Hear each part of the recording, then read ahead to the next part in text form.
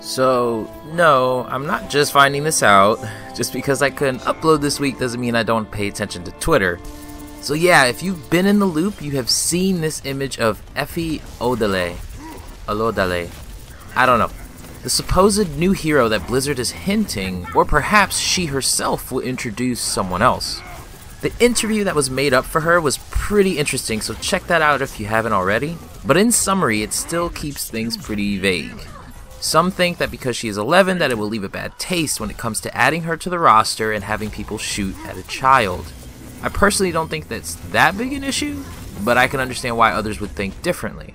I do feel like she's been designed way too well to just be a side character that's just introducing someone else or will not be added to the game at all.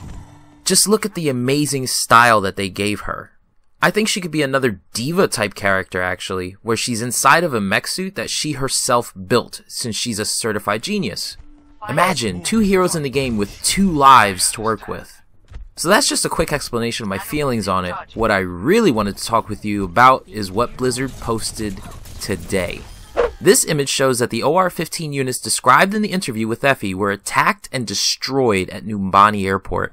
Now in the interview, Efi described building something as great as the OR-15s that will keep people safe. And here we have an attacker that just knocks over these robots with ease.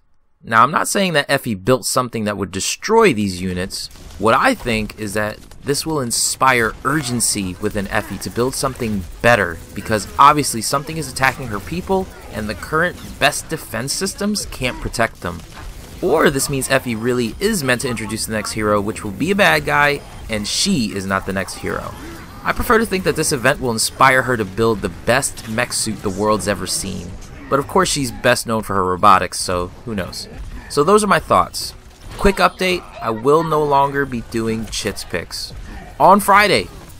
Did I get you? Instead of Friday or Saturday, I'm going to do them on Sunday since I want to spend more time making other videos and not fill up the channel with chits picks only due to my busy work schedule. So what do you guys think about this image? Let me know in the comments below. If you enjoyed the video, be sure to share, like, and subscribe to the channel. My name is Chit, and I approve this message.